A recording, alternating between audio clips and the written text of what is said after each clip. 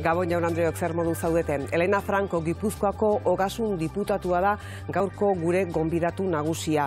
Ondasunez, ogasunaz, e, politika fiskalaz hitz egin nahi dugu berarekin, baina dudarik ez dela egun hauetan informazioaren lehen lerrora etorritako bidegi euziaz ere hitz egingo dugu. Kontu asko ditugu berarekin aztertzeko eta eta hitz egiteko. Berari azpimarra egiteko Xavier Barandiaran, Gaizkaranguren eta Mikel Izagirre daude gurekin eta geroxago etorriko da Adrian Zelaia. Gaur Martxelo Otamendi berria egunkariko zuzendariaren hausnarketa ere izango dugu korrikari buruz arituko da.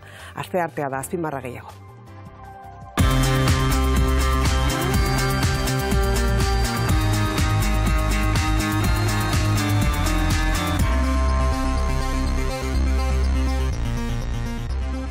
Elena Franco Gabon tongi etorri.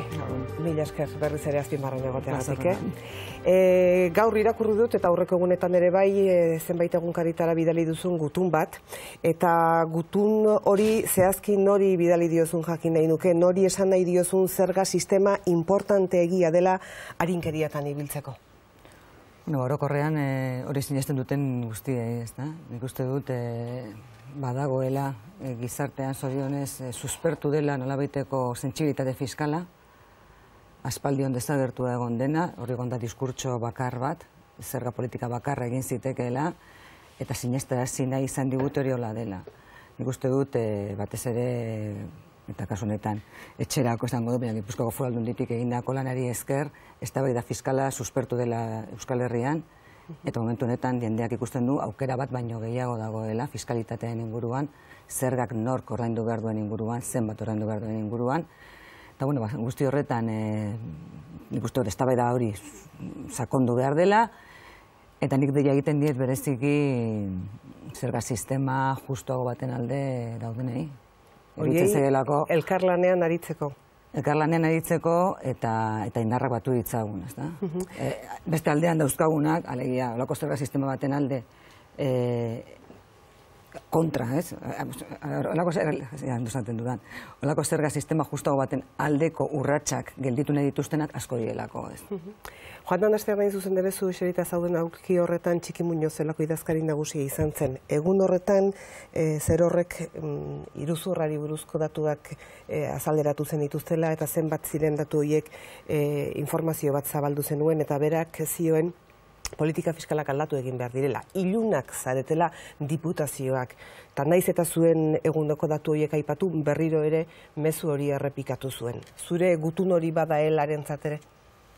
Bueno, ba, elako kide bat zuentzat, igual, bai, ez dute, betzatzen dutelak bere adierazpenetan eta bere txostenetan eta fiskalitatearen egiten dituen e, bueno, ba, proposamenen ingurutan e, bateratasun puntu asko dauzkagula eta zentzorretan, ba, noski baiet. e, nork dauka interesa danak, erakunde danak berdinak zaretela, e, alderdi guztiak berdinak zaretela esateko zuk diozun bezala? Bueno, nola baite gure ekimen diferentziatu hori ba, izkutatu nahi duten, ez? nik uste dut, badagoela olako interes bat, esateko politikari guztiak berdinak dira, politikak eh, ez dauka almeni gauzak aldatzeko, eta, eta daukaguna daukagu, eta konformismo batean e, sartzeko herritarrak, ez? Hau da daukaguna, eta ez ezin daiteke aldatu. Eta guk uste dugu ez politikak badaukala aldatzeko gaitasuna. Eta ez ez daukagunok, botererik ez daukagunok, politikara beli behar dugula, gauzak aldatzeko. Ez bakarrik instituzioetan, eh, politika egiten da kalean, egiten da herri mugimendutan, egiten da gizartean, egiten da lan, eh, lantokietan, baina baita instituzioetan. Eta ez dago eredu bakar bat, ez dago gizarte eredu bakar bat, eta ez dago eredu fiskal bakar bat. Beraz, hori berreskuratu behar da. Zinez men hori, ez? Azken baten, herritarrok ere gauzak aldatu ditzakegula, ez? Eta nik uste horrek beldurre ematen dio, momentuetan, botere ekonomiko handia daukaten, oi, beste diskurtsoekin erosago daudelako ez ere ezin badut herritarrek aldatu, guk jarraituko dugu agintzen. Alegia, motere ekonomiko indartsuek Eta horren aurrean, herritarron boterea ba, beste modu batean egituratu behar da, ez? Beti gora, herri mugimendutik eta instituzioak ere horretan bat egin ez. Eta izan da gure apostua.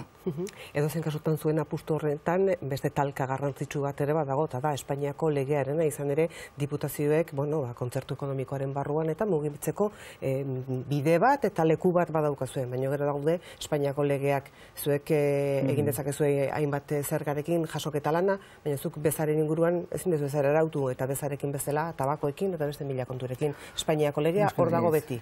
Eta ez bakarrik fiskalitatean, ez nik uste gaur eguneko marko juridiko askota esan dugu bezala agorduta dago, bai e, Euskal Autonomia Erkidegoan, bai Nafarroan, eta ze esanik ez e, Ipar Euskal Herrian, marko juridiko horrek ez du balio Euskal Herritarrok egun dauzkagun nahiak eta aspirazioak asetzeko. Eta hor dauzkagun muga pila bat, eta horrek eskatzen du ere herri honetan elkarlan serio bat, benetan herri honek estorkizuna izan behar badu. Fiskalitatearen gaian, argi dago. Argi dago, zenbait zerga oso importanteetan ez daukagulako eskumenik. Dirua jaso bai, baina ezin ditugu diseinatu zerga horiek, ez? Eta bezaren kasua, nik uste dela deigarrienetako bat. Egia da esaten digutela, hombre, Europan besta harmonizatua dago, baina harmonizazio horren barruan, Europan oso best desberdinak dauzkagu. Beraz, badago Oso adibide argiak ikusi ditugu berriki, Espainiak kontu batutan ezarri dituenak eta Europak zituenak bai. kontuan izan da. Ba, ziurazki kulturarena, ez, begarriena, ez, kulturan dauzkagu izugarrizko abanikoa, Espainian zuzenean euneko geita batera joan dira, eta beraz gu behartuta gaude euneko geita bata aplikatzen, eta beste herrietan, ba, euneko amarra, euneko zeia, muga horretan mugitzen dira, ez da.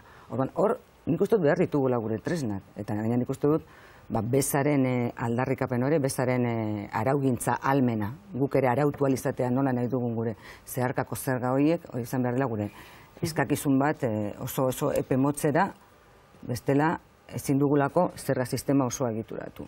Zuk aurkitu duzu saiez biderik, edo Euskal Herria Bilduk Gipuzkoako diputazioan aurkitu duzu saiez biderik horri aurre egiteko, edo ez dago?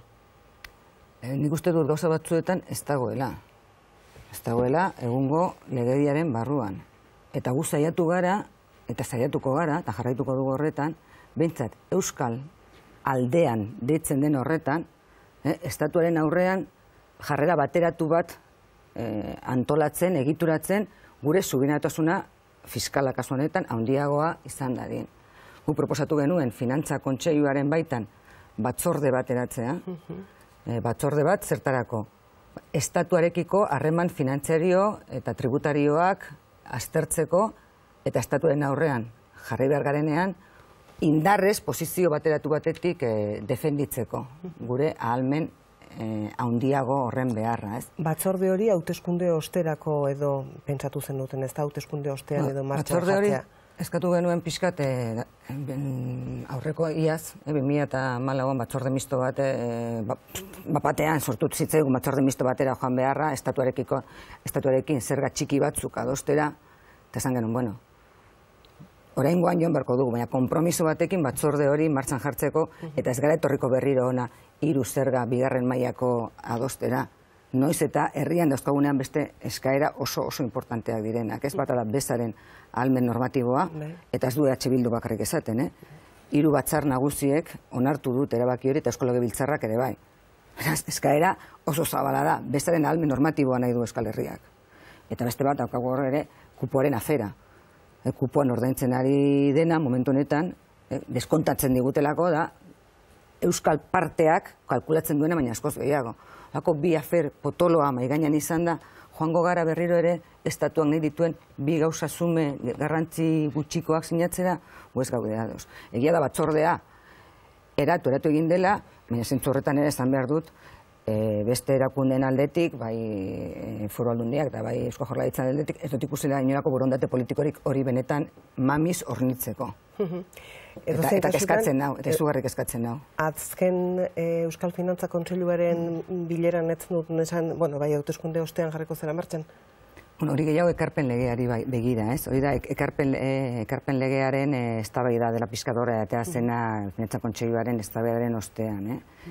Batzorde berez martxan dago, gertatzea batzorde hori horri erritmo eman berzaio eta borondate eman berzaio hori martxan jartzeko. Batzordak izan du bilera bat, eta ezkeneko finantza horren berri eman, eman zen, baina bueno, oso gutxi da egin behar deneako. Gure dugu, benetan, batzorde horrek behar duen entitatea, ez. Zergatik etan egon Partido Popularra? Araba? Egon zan, eh? eh Euskal Finantza Kontseiluan ez zizuen plantoa egin? Ah, bueno, ondoren, ondoren. E, prentxaurrekoan, bai. bueno, barabak izuelako, ez zuela momentu horretan e, e, prentxaurreko bateratuan atera nahi, ekarpen legearen inguruan daukan dezagostasunen gatik. E, bueno, bera aukera izan zen. Arabako foro aukera izan zen, ez agertzea, gu momentu horretan noski, ekarpen legearekin, gaur egungo ekarpen legearekin, eta entzuten nahi diren entzan zer den ekarpen legea, ez? Nola, nola ekarpen legearen arabera erabakitzen da nola banatzen diren baliabideak eusko jaurlaritza edo e, e, esan, euskal instituzio komunak ditzen diren horiek eta foru aldundiak eta lurralde historikoen artean. Zenbat dagokion arabari, zenbat bizkaira, zenbat gipuzkoari eta zenbat eusko jaurlaritzaren kudeak eta ere muari. Hori ekarpen legearen bitartez ere bakitzen da, nola egiten den banak eta hori. Momentu honetan desorekak daude desoreka nabarmenak, behin da berriro errepikatzen direnak, desoreka estrukturalak, gipuzkoa eta araba beti dagokienaren azpitik geratzen dielako, horrekaren azpitik. Eta horrekin oso kritikoak izan gara, eta lanketa bat egiten ari gara. Zergatik ez, eh, momentu hartan ez genuen eh, hori planteatu termino horietan, bueno, genuelako ez zela momentua iruditzen zitzaigun hori landu egin behar dela eta bere momentuan berren tokian eztabaidatuko dugu eta proposamen bat jarriko dugula mai gainean, ez? Arabak momentu hartan nahiago izan zuen argazkian ez atera, bueno, bere aukera da, guk ez genuen konpartitzen. Eztabaida gaudenean eta gatazka dagoenean gatazka hori ere plastaratu behar da. Baina eztabaida momentu horretan ez bada egon eta gatazka artifizialki ere irudikatzea estenean momentuan ez egokia iruditzen. Faltxean izarrendekin eh, hasi duzu egun hauetako aipatu dudan gutun horren nola mm. baituko errepasoa zuk uste duzu informazio okerrak eman direla, zein da zuzena? Gipuzkoako foral dundi dago kionez, bintzat, zuzena da pixka eta hori adieazten duguna. Ikuskaritzak egin ziren. Ez zen sustatu e, borondatezko regulaziorik. Zerrenda hori iritsi zenean, zerrendartan zeuden guztiei, eta ez bakarrik zerrendan zeuden guztiei, baita ere beren zenidei eta harreman izan zitaken beste pertsonai ikuskaritzak inspekzioak egin zitzaizkien. Bere izketarik egin gabe. Ez ez denei. Ondorioz, to laureun dapiku akta sinatu zirela, inspekzio aktak, eta gero hortik ere, zazpiku mabos milioi euro jaso ziren, ba, alde batetik zor eh, tributari egokionak, baina baita ere izunak. Beraz, hombre, hori da, gertatu zena. Ezin da esan, borondatezko regulazioak sustatu zirela, behintzat, Gipuzkoako kasuan. Eta hori gainera, azpimarratzen duzu, bai zuek diputazioa hartu zen duten momentua, baina baita aurretik egintzen e, gestioari dagokionez. Hori da.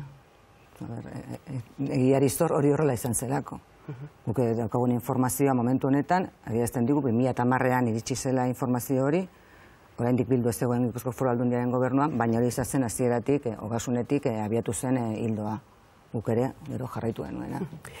Duela egun batzuk lentsago esan dute hainbat datu kalderatu dituzue eta inoiz azeleratu den zerga iruzurrik handiena den berri eman duzue. Laureun da amalau komasei milioi bi mila da amalau garren urtean hori e, Gipuzkoako aurrekontuaren zenbat da? Ba, uneko irurogeita mar bat, edo, izango da, ez? Beraz, diru asko da. Bueno, egia da, gero, zerga, e, zerga bilketa hori baino gehiago da, eh? Gauza bat da, Gipuzkoako foraldundiak duen bere aurrekontua, mm -hmm. zazpireun da laurogi milioi ingurukoa, bai. baina zerra bilketa e, gipuzkoan lau mila milioi dira urtero. Bai. Mm? Baina, bueno, e, iziru zurrari dago kionez hori.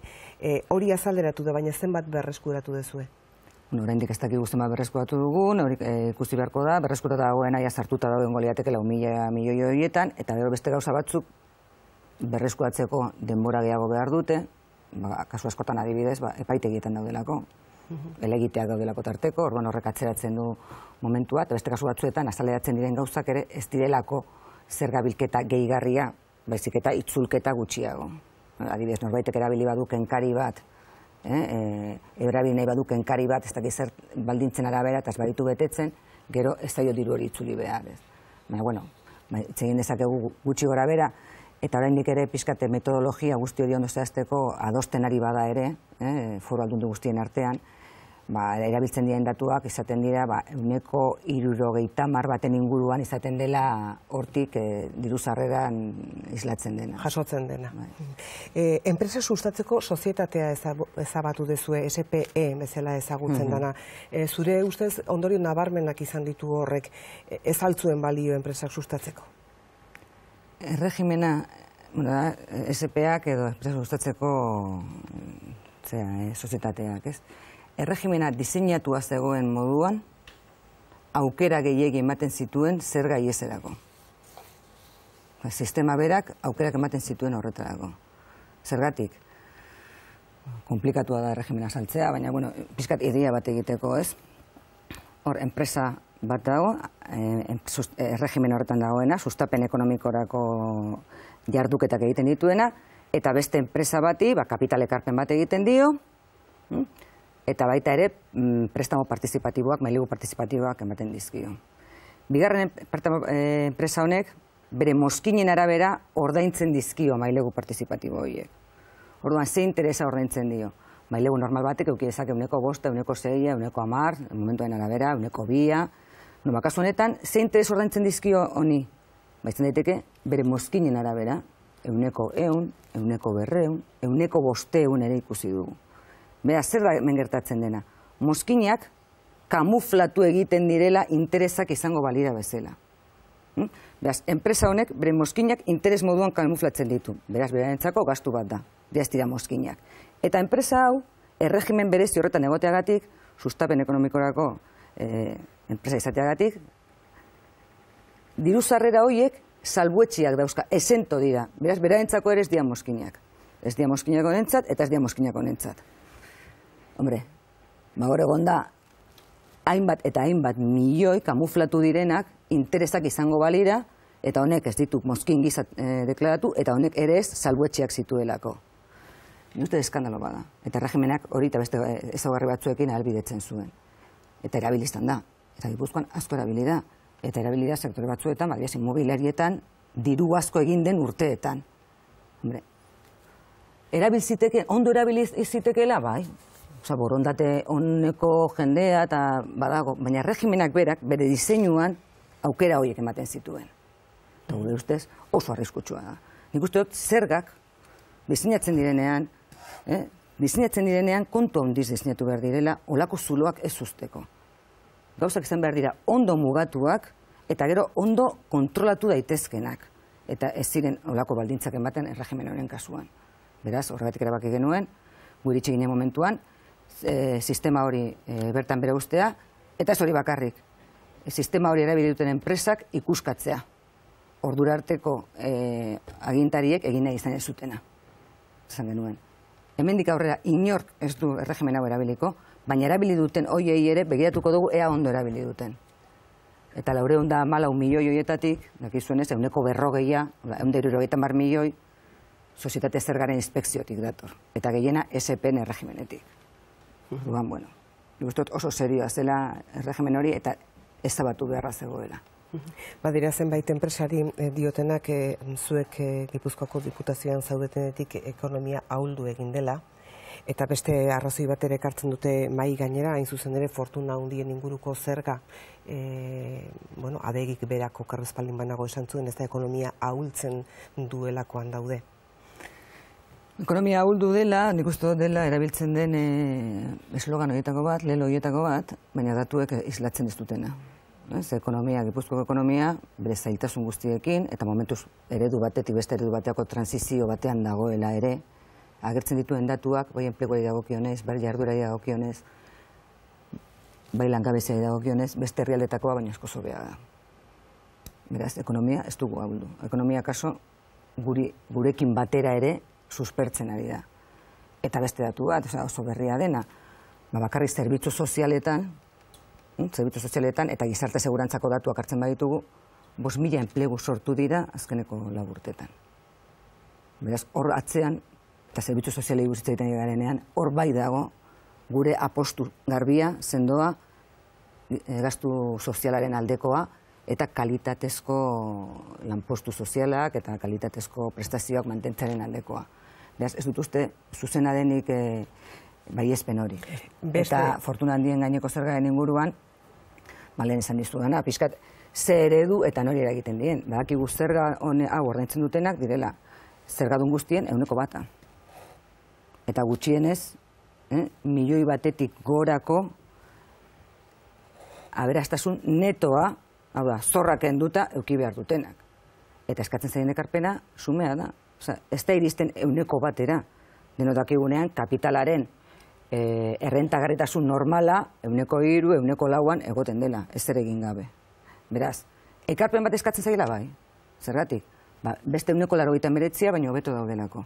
Eta gizarte kohesionatu bat nahi dugunok, eta gizartea, gizartean berdintasunerako baldintzak eman behar dituela pentsatzen dugunok, egoera onenean dagoenei eskaitzen diegu alegin handiago bat.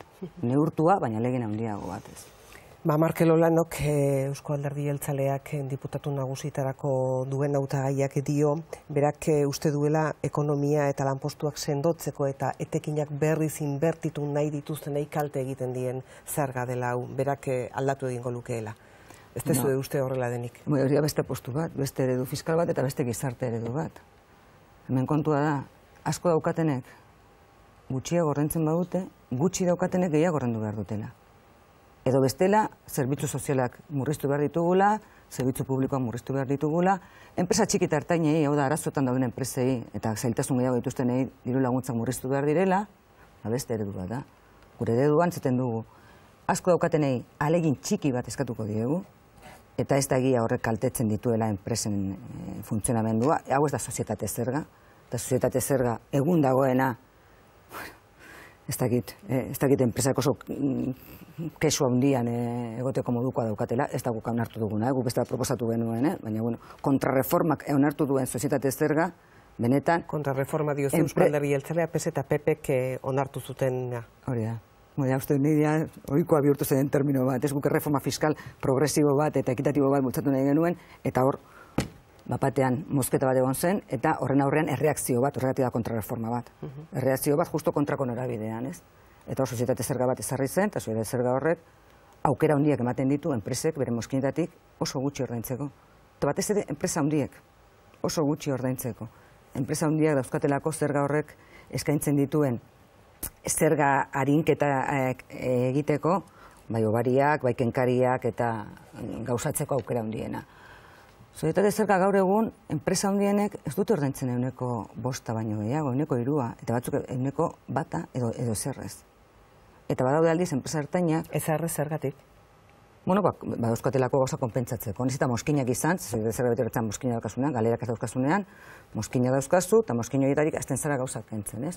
Erreserba bat egiten dudalako, ba, etorkizuneko galera konpentsatzeko, deskontatzen dut moskinetatik. Edo, gero, eh, kalkulatzen dut hau horrendu behar dudala, baina ikerkuntza eta garapenean e, inbertsio bat egin dudanez, ba hori ere eskontatzen dut. Eta, ta, ta, ta, ta, azkenean, nahiz eta moskinak izan, eta hasierako kalkulaten ordaindu behar, azkenean zer ordaintzen dut, ez. Bre, hori beste apostu bada, ez dago planteatzen genuen zerga, ukestaten genuen zerga horretan, ziurtatu behar da gutxienez, zerga horrek daukan tasaren, ba, erdiero ordaindu behar dela kasurik muturrenekoan ere. Euneko gehieta sortzia baldin bada tasa, kenkari, obari, besteak eta gutxinez horren dauneko amalau zure irabazietatik. Galerak ez daukazunean ez duzu zer horrenduko. Irabaziak dauzkazunean egin ekarpen bat. Administrazio publikoak zure enpresaren lehiakortasunari ere ekarpen bat egiten diotelako.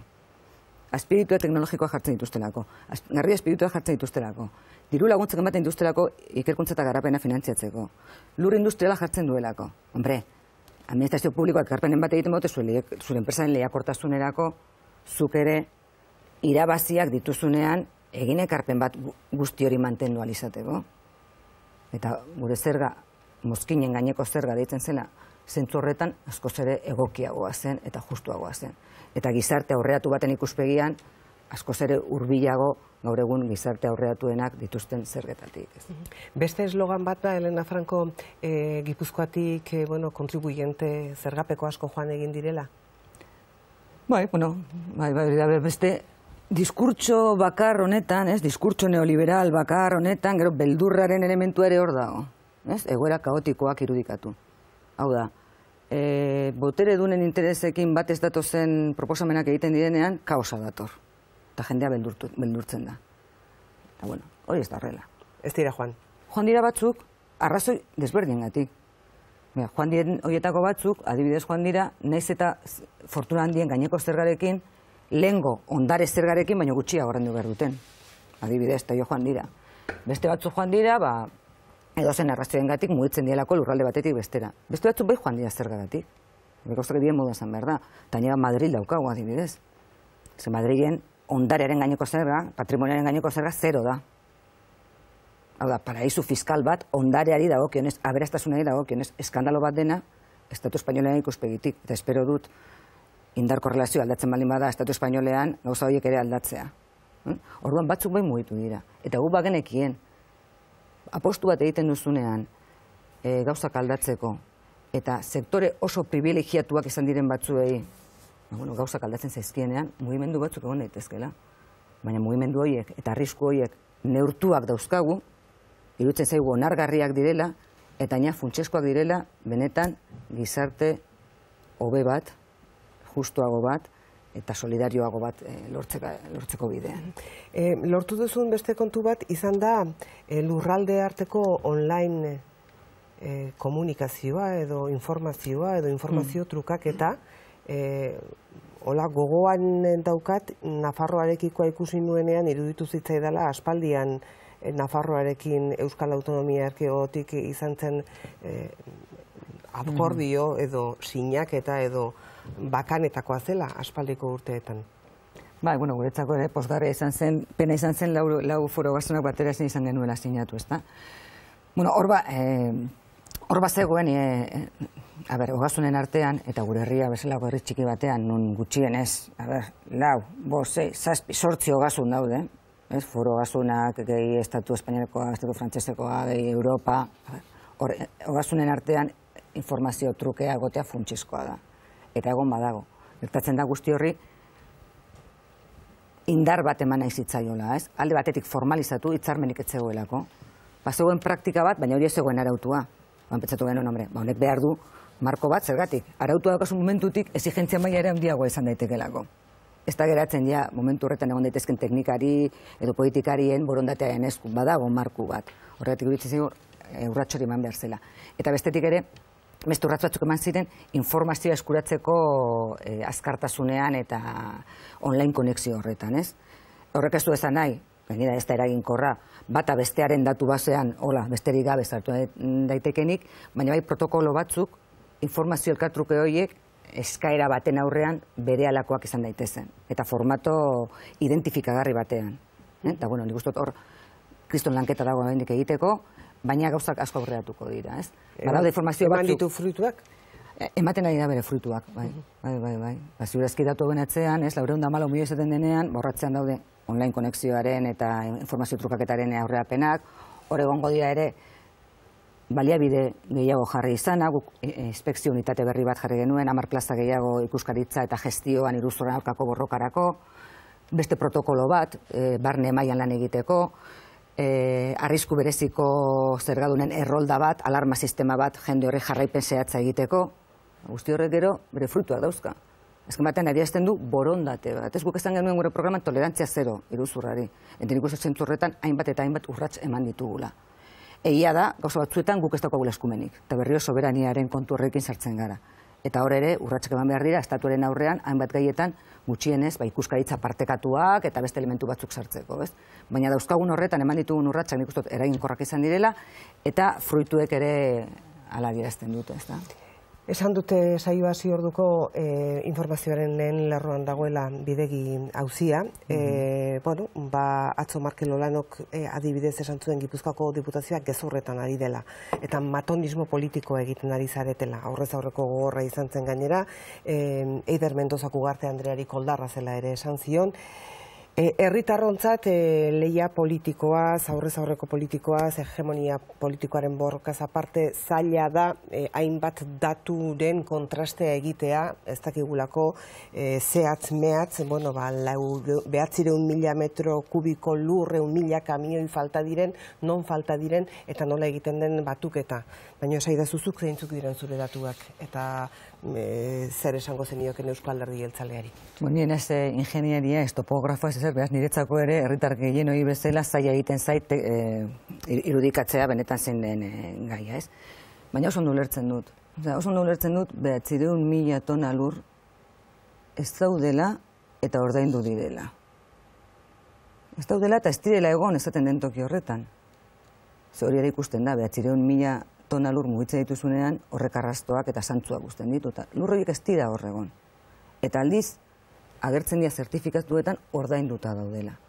Beraz, lur horiek ez dira atera inundik, lur horiek ez dira eraman horra, eta lur horiek ez daude.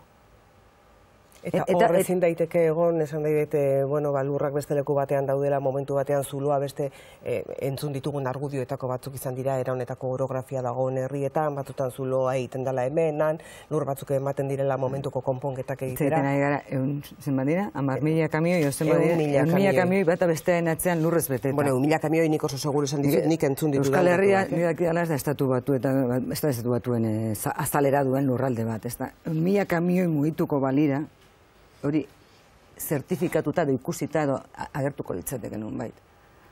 Lur hori ez da egon. Eta horregatik ez da mugitu, eta horregatik ez ditu ikusi milaka kamioioiek mugitzen. Eta hori, nik uste dut herritarrak ulertu ezakera. Analizi topografikoak eta horietaz arago, ez?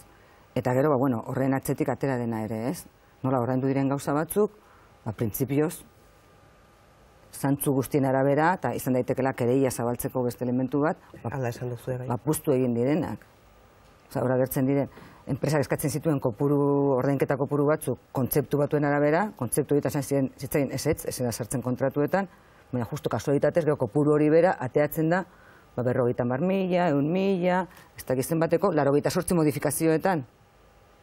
Eta justu kopuru bera, pixka daltu hau, nik ez dakit herritarrek zein prezio daukat, nik uste dut, e, nire zait balio ez datea, gezurretan zabiltzate, koldarra zara, ez dakit, ez, a ber, zer gertatu da hemen? Eta nun daude lur horiek? Eta, eta nola dago zertifikatu hau guztia?